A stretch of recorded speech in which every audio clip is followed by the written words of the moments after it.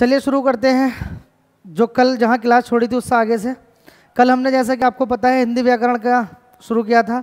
जिसने कल वाली क्लास नहीं देखी है तो इस इसमें ये सजेस्ट करूँगा कि इस क्लास को देखने से पहले वो कल की क्लास देख लें। आज हमने जहाँ कल क्लास छोड़ी थी, उसी से आगे से शुरू करेंगे। जी, कल हमने हिंदी व्याकरण में अपना पहला टॉपिक स्टार्ट किया था, जिसका नाम था वर्णमाला। मैंने बताया था, व्याकरण को हमें तीन विभाग में बांट कर पढ़ना है, जिसमें पहला विभाग है, पहला भाग जो है वो है वर्ण, दूसरा है शब्द और तीसरा है वाक्य। तो हमने अपना पहला विभाग शुरू कर दिया था और पहला विभाग है हमारा वर्ण। और वर्ण से रिलेटेड पहला चैप्टर है वर्णमाला। चलिए जो कल पढ़ा था, एक बार उसका रिवीजन कर लेते हैं। मैंने बताया था वर्णों की संख्या कितनी है तो वर्णों की संख्या है 52 मैंने बताया था वर्ण की परिभाषा क्या है। जिस ध्वनि के टुकड़े नहीं हो सकते, उसको क्या बोला जाता है? वर्ण बोला जाता है। स्त्रीलिंग वर्ण कौन से हैं? छोटी, बड़ी और री। ये स्त्रीलिंग वर्ण है। इसके अलावा जितने भी वर्ण हैं, जो जो भी शेष बचे, वो सब क्या हैं? पुलिंग हैं। इसके बाद हमने वर्ण के विभाग पढ़े थे, वर्ण के भेद पढ़े थे। और वर्णों को कितने भेद में बांटा गया था? तीन भेदों में। पहला था स्वर, दूसरा व्यंजन और तीसरा अयोगवा और हमने शुरुआत कर दी थी पहले भेद से, जिसका नाम था स्वर। स्वर की परिभाषा, ऐसे वर्ण जो व्यंजन के उच्चारण में सहायता प्रदान करते हैं और अपने आप क्या होते हैं? स्वतंत्र होते हैं। क्या कहलाते हैं? वर्ण कहलाते हैं। उसके बाद में हमने, उसके, वो स्वर कहलाते हैं। उसके बाद में हमने उसको आगे बढ़ाया था और हमने पढ़ा था स्वरों का वर्गीकरण। अब स्वरों का वर्गीकरण हमने कई आधार पर पढ़ना है हमें। पहला हमने पढ़ा था किस आधार पर? हमने सबसे पहले पढ़ा था उत्पत्ति के आधार पर। तो उत्पत्ति के आधार पर स्वरों को दो भागों में बांटा गया था, जिसमें पहला भाग था मूल स्वर, अ ई उ और री, और दूसरा भाग था संधि स्वर। संधि स्वर में हमने पढ़ा था दो तरह के स्वर, एक तो सहजातीय और एक विजातीय, जिसमें छोटा आ प्लस छोटा इज़ इक्वल टू मिलकर बना था बड़ा छोटी ई प्लस छोटी मिलकर बनी थी, बड़ी, छोटा ऊ प्लस छोटा ऊ मिलकर क्या बना था, बड़ा ऊ। और री और री मिलकर बना था, री।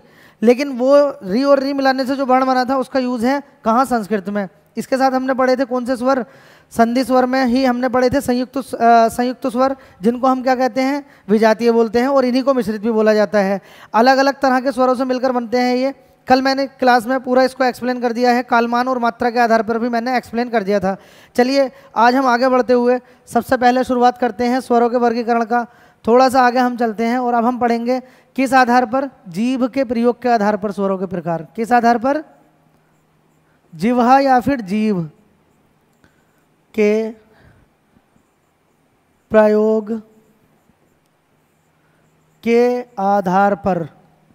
किस आधार पर? जीव के प्रयोग के आधार पर। किस बारे में पढ़ना है हमें? स्वर को पढ़ना है। किस बार, किस आधार पर? जीव के प्रयोग के आधार पर। तो सबसे पहले मैं आपको बताना चाहूँगा कि हमारी जो जीव है, अगर हम उसके कितने टुकड़े करें? तीन। यह हमारी क्या हो गई? जीव हो गई। इसको अगर हम कितने भागों में बांट दें? तीन भाग में। ये जो भाग है, इसे अगर मैं बोलूँ अग्र भाग और जो ये हमारा पिछला भाग है, इसे मैं बोलूँ अगर पश्च भाग और बीच वाले को क्या बोल दूँ? मध्य भाग। तो जो स्वर बोलते समय हमें अपनी जीव का अगला भाग यूज़ करना होगा, उसे हम बोलेंगे क्या? अग्र स्वर। क्या बोलेंगे उसको? अग्र स्वर।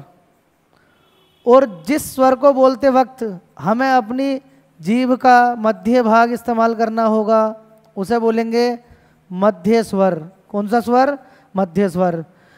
जिसमें हमारी जीव का पिछला भाग यूज़ होगा, उसे बोलेंगे पश्च स्वर। ठीक है? कोई रॉकेट साइंस नहीं है, इनको याद रखना। अगला भाग हमने अगर अपनी जिभा का यूज़ किया है तो अग्र स्वर है। अगर मध्य भाग यूज़ किया है तो मध्य स्वर है। और अगर पश्च भाग यूज़ किया है तो पश्च स्वर है। चलिए बात करते हैं सबसे पहले मध्य स्वर के बारे में बताना चाहूँगा। मध्य स्वर केवल और केवल एक ही है, कौन? छोटा आ। इसको बोलते वक्त हमें जीव का कौन सा वाला भाग यूज़ करना पड़ता है? मध्य भाग। अ अ, कौन सा भाग यूज़ करा हमने? मध्य वाला भाग। इसी छोटे आ को हम केंद्रीय स्वर भी बोलते हैं। इसी छोटे आ को हम क्या बोलते हैं? केंद्रीय स्वर भी कहते हैं। कौन सा स्वर? केंद्रीय स्वर। ये याद रखना। कई बार एग्ज़ाम में पूछा है। इंपॉर्टेंट है। इंपॉर्टेंट इसलिए है क्योंकि अकेला है। जो चीज़ अकेली होती है, वो ज़्यादा इंपॉर्टेंट होती है। इसको केंद्रीय स्वर भी कहते हैं और इसी को हम उदासीन वर्ण भी कहते हैं। ध्यान रखना क्या बोलते हैं इसी को हम? उदासीन वर्ण भी किसका नाम है भाई? इस छोटे आ को हम क्या बोलते हैं? उदासीन वर्ण बोलते हैं। चलिए अब बात कर लेते हैं अग्रस्वर की। अग्रस्वर यानी ऐसे स्वर जिनको बोलते वक्त हमारी जिह्वा का, हमारी जीभ का कौन सा वाला हिस्सा यूज़ होगा? अग्र वाला, आगे वाला। तो उसके लिए हमारे पास है दोनों ई। ई ई। चाहे आप बोलकर देख लीजिए, ई ई। हमारा कौन सा भाग यूज़ हो रहा है जीप का? अग्र भाग यूज़ हो रहा है, ठीक है? और ई से ही बनता है, कल मैंने बताया था, अगर कल की क्लास आपको ध्यान हो। अगर हम छोटे आ के अंदर क्या जोड़ दें? ई जोड़ दें तो क्या बन जाता है? ए बन जाता है। और इसके अंदर ई आया है, जिसको हम किससे, जिसको हम बोलते समय क्या यूज़ करते हैं? अग्र हिस्सा यूज़ करते हैं जीप का तो ए बोलते वक्त भी क्या यूज़ किया जाएगा? जिभा का अग्र हिस्सा। जब ए बोलते वक्त यूज़ हुआ है तो आए बोलते वक्त भी यही यूज़ होगा। ई ई, ए, आए, दो चारों ही क्या हैं? अग्र स्वर हैं और जो बाकी बचे वो सारे क्या हैं? पश्च स्वर। यानी हमें केवल और केवल क्या याद कर लेने हैं? अग्र स्वर। वही मध्य स्वर तो एक ही है, वही मुश्किल नहीं है इसे याद करना। मध्य स्वर केवल और केवल एक है और मोस्ट इंपॉर्टेंट है।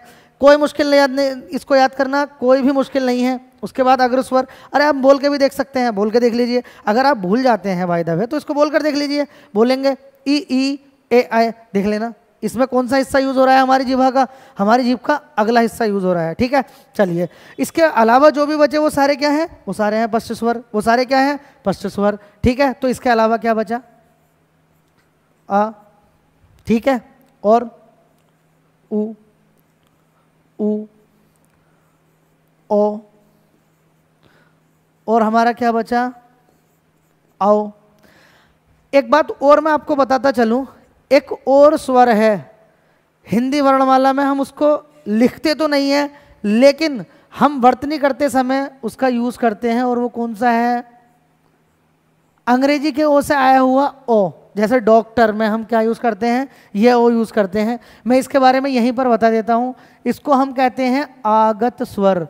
आगत स्वर क्यों? क्योंकि ये आया है। कौन सी भाषा से?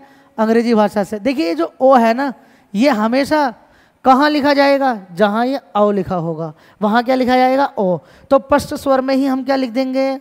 अंग्रेज़ी भाषा से आया हुआ अगर स्वर, ओ। एक बार इसको देख लीजिए। अग्र स्वर, ई ई, ए, आए। मध्य स्वर केवल एक ही है, छोटा। पष्ट स्वर, बड़ा, छोटा ऊ बड़ा ऊ ओ औ, और अंग्रेज़ी भाषा का आगत स्वर, ओ। ठीक है? ये थे हमारे कौन से स्वर? जीव प्रयोग के आधार पर हमने स्वरों को क्या कर दिया? वर्गीकरण। एक बार इसको देख लीजिए। अब हम आगे की तरफ़ चलते हैं और आगे की तरफ़ हमारा आएगा अगला। अब हम आधार किस आधार पर पढ़ेंगे? अब हम किस आधार पर पढ़ेंगे? अब हम पढ़ेंगे ओष्ठ आकृति के आधार पर। किस आधार पर? ओष्ठ आकृति के आधार पर। किसका वर्गीकरण देखेंगे हम? स्वरों का। ओष्ठ आकृति के आधार पर। किस आधार पर? ओष्ठ आकृति के आधार पर। स्वरों का वर्गीकरण अगर हम करें तो किस तरह से करेंगे? देख लेते हैं एक बार। ओष्ठ आकृति के आधार पर। मैं एक बात और बता दूँ, जितना भी मैं इस बोर्ड पर लिख रहा हूँ, उसकी पीडीएफ आपको, उसका लिंक इसके डिस्क्रिप्शन में मिल जाएगा। तो टेंशन नहीं लेना है, केवल और केवल एक मूवी की तरह एंजॉय करना है पूरी क्लास को। ओष्ठ आकृति के आधार पर। अगर हम स्वरों का वर्गीकरण करें तो देखिए कुछ स्वर तो ऐसे होते हैं जिनको बोलते समय हमारे होंठ क्या हो जाते हैं? गोल हो जाते हैं। और कुछ स्वर ऐसे होते हैं जिनको बोलते समय हमारे होंठ गोल नहीं होते। जिनको बोलते समय हमारे होंठ गोल हो जाते हैं, उन स्वरों को बोला जाता है बर्तुल स्वर। कौन से स्वर? बर्तुल स्वर। ठीक है? तो बर्तुल और जिनको बोलते समय होंठ गोल नहीं होते, उन्हें क्या बोला जाता है? एवर्तुल क्या बोला जाता है उनको? एवर्तुल क्या बोला जाता है? एवर्तुल ठीक है? अच्छा जिनको बोलते समय हमारे होठ गोल हुए हैं, उनको हमने क्या बोला? वर्तुल बोला है। अब वर्तुल को हम क्या बोल देते हैं? वर्तुल को हम बोलते हैं व्रतमुखी। क्या बोल देते हैं? वर्तुल को ही। क्योंकि हमारा मुँह कैसा हो गया? गोल हो गया। क्या बोल देते हैं? व्रत मुखी और अवर्तुल को क्या बोल देंगे?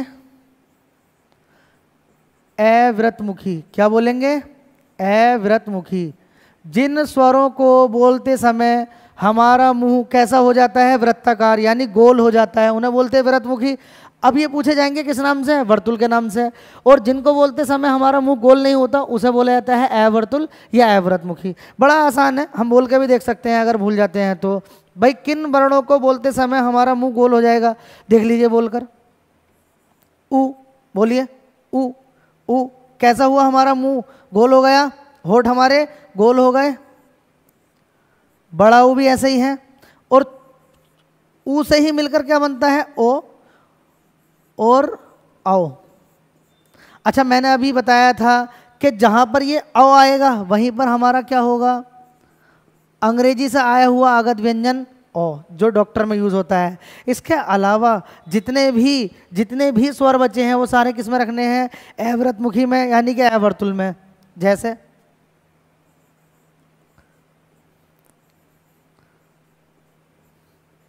ई ई, ए, और आए।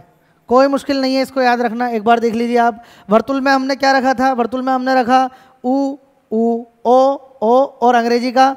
आया हुआ व्यंजन आया हुआ स्वर कौन सा? ओ। इसके बाद हमने देखा ए वर्तुल ए वर्तुल में बाकी के सारे। तो हम एक याद रख लें वर्तुल वाले। ए वर्तुल हमारे ऑटोमेटिकली क्या हो जाएँगे? याद हो जाएँगे। चलिए हम आगे की तरफ़ चलते हैं और आगे की तरफ़ चलते हुए हम स्वरों का वर्गीकरण किसी दूसरे आधार पर देखते हैं। अब हम देखते हैं मुख विवर के आधार पर। किस आधार पर? मुख विवर। विवर का मतलब होता है खुलना। मुख विवर के आधार पर। किस आधार पर? मुख विवर के आधार पर। किसका वर्गीकरण? स्वरों का वर्गीकरण। तो देखिए, मुख विवर के आधार पर स्वरों को कितने भागों में बांटा गया है? विवर का मतलब होता है मुँह का खुलना। यानी किस स्वर को बोलते वक्त हमारा मुँह कितना खुलेगा या कितना नहीं खुलेगा? एक तो होते हैं हमारे समृत स्वर। कौन से? समृत एक होते हैं हमारे विवृत स्वर। कौन से स्वर? विवृत स्वर। इसके बाद आता है हमारा अर्ध समृत तीसरे नंबर पर कौन से स्वर आते हैं? अर्ध समृत और चौथे पर आते हैं अर्ध विव्रत चलिए देखते हैं क्या है ये। अर्ध समृत अर्ध विवृत और समृत और विव्रत कैसे स्वर हैं? देखिए समृत को अगर मैं इंग्लिश में कहूँ तो समृत का मतलब होता है क्लोज समृत का मतलब क्या होता है? भाई, इसकी डेफिनेशन हम अगर हम इंग्लिश में याद रख, इंग्लिश में लिखेंगे तो ज़्यादा जल्दी याद होगी। अच्छा विव्रत का मतलब क्या होता है? ओपन विव्रत का मतलब क्या है? ओपन अर्ध समृत मतलब क्या? हाफ़ क्लोज हाफ़ क्लोज आधा बंद. और अर्धविव्रत हाफ़ ओपन हाफ़ ओपन देखिए, जिन स्वरों को बोलते वक्त हमारा मुँह खुला रहे, हमारा मुँह क्या हो जाए? पूरा खुल जाए। हमारा मुँह पूरा खुल जाए। उसे हम क्या बोलेंगे? विवृत स्वर बोलेंगे। जिसे बोलते समय हमारा मुँह क्या हो जाए? पूरा खुल जाए। उसे हम क्या बोलेंगे? ओपन बोवल, यानी कि विवृत स्वर। और जिसे बोलते समय हमारा मुँह क्या हो जाए? बंद हो जाए। अगर मुँह बंद होगा तो हम कैसे बोलेंगे? अगर मुँह बंद होगा तो कैसे बोलेंगे? तो मुँह बंद नहीं बल्कि क्या लगभग बंद रहे? लगभग बंद? मतलब थोड़ा सा मुँह खोल दो। कितना बस? कि हमारे मुँह से क्या हो जाए भाई? हवा निकल जाए, वायु क्या हो जाए? पास हो जाए एयर पास हो जाए। तो ये नहीं है कि समृत को बोलते समय मुँह क्या हो जाए, बंद हो जाए, इसे बोलते समय मुँह खुल जाए। चलिए पहले इसके बारे में बता देता हूँ। जिन स्वरों को बोलते समय मुँह क्या हो जाए? मुँह क्या हो जाए? मुँह पूरा खुले। वो होते हैं हमारे विव्रत और जिन स्वरों को बोलते समय मुँह क्या हो जाए? लगभग बंद। मतलब लगभग बंद। थोड़ा सा मुँह खोलकर भी जो हम बोल दें, वो क्या कहलाते हैं? हमारे समृत स्वर कहलाते हैं, जिन्हें हम क्या बोलते हैं? क्लोज बोलते हैं। अच्छा विव्रत स्वर कौन सा ऐसा स्वर है जिसको बोलते समय आपका पूरा मुँह खुल जाता है? केवल और केवल एक स्वर है, कौन सा वाला? आ। कौन सा वाला? आ। जितना चाहो इतना मुँह खोल लो, आ बोलते वक्त। आ। जितना चाहो इतना मुँह खोल लो। क्या बोलते समय? आ बोलते समय। तो क्या हुआ ये? विवृत स्वर हुआ। इसके बाद अच्छा आप बोलकर देखिए, आप खुद बोलकर देखिए। मैं एक मिनट का आपको टाइम देता हूँ कि कौन से वाले स्वर को बोलते समय आपका मुँह लगभग बंद रहेगा? इन दोनों के बारे में हम बाद में बात करेंगे। पहले इसके बारे में आप बताइए मुझे कि समरस स्वर यानी कि किन को बोलते समय लगभग मुँह क्या रहेगा? बंद रहेगा। एक मिनट का टाइम है आपके पास। देखिए।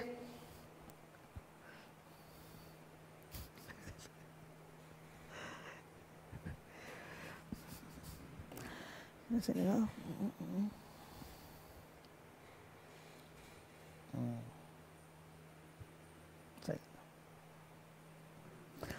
चलिए, मैं समझता हूँ आपने सोच लिया होगा और सही सोचा होगा, सही लिखा होगा। चलिए, अब मैं बता देता हूँ, जिनको बोलते समय मुँह लगभग क्या हो जाए, बंद हो जाए, वो क्या है भाई? ई, थोड़ा सा मुँह खोलेंगे, थोड़ा सा बिल्कुल मुँह खोलिए, ई आप बोल देंगे। जब ई बोल दिया तो क्या बोल देंगे भाई? बड़ी भी बोल देंगे, ठीक है? इसी के साथ ऊ ऊ दोनों ऊ बोल दिए। ठीक है? ये लगभग मुँह बंद भी है हमारा मतलब बहुत कम मुँह खुला है, तब भी हम क्या कर सकते हैं? समृत स्वर को बोल सकते हैं। अच्छा अब यहाँ आ जाइए। अर्ध समृत जिनको बोलते समय मुँह क्या रहे भाई? आधा। बंद रहे। आधा। बंद। और जिनको बोलते समय आधा क्या रहे भाई? आधा क्या हो जाए मुँह? आधा खुल जाए, यानी मुँह क्या हो? आधा खुला हो। अब आपके मन में एक बात होगी कि मुँह आधा बंद हो या आधा खुला हो? ये तो बात एक ही हुई। मुँह आधा बंद हो या आधा खुला हो? ये तो एक ही बात हुई। अब ये हमें कैसा पता चलेगा कि मुँह आधा बंद कौन से कंडीशन में है और आधा खुला कौन से कंडीशन में है? देखिए, अगर कोई कोई भी चीज़ पूरी ओपन है, पूरी ओपन है, यानी कि बिल्कुल यहाँ से लेकर यहाँ तक कोई चीज़ है, मान लो एक दुकान है जिसका ये शटर है, ये पूरा खुला है इस वक्त।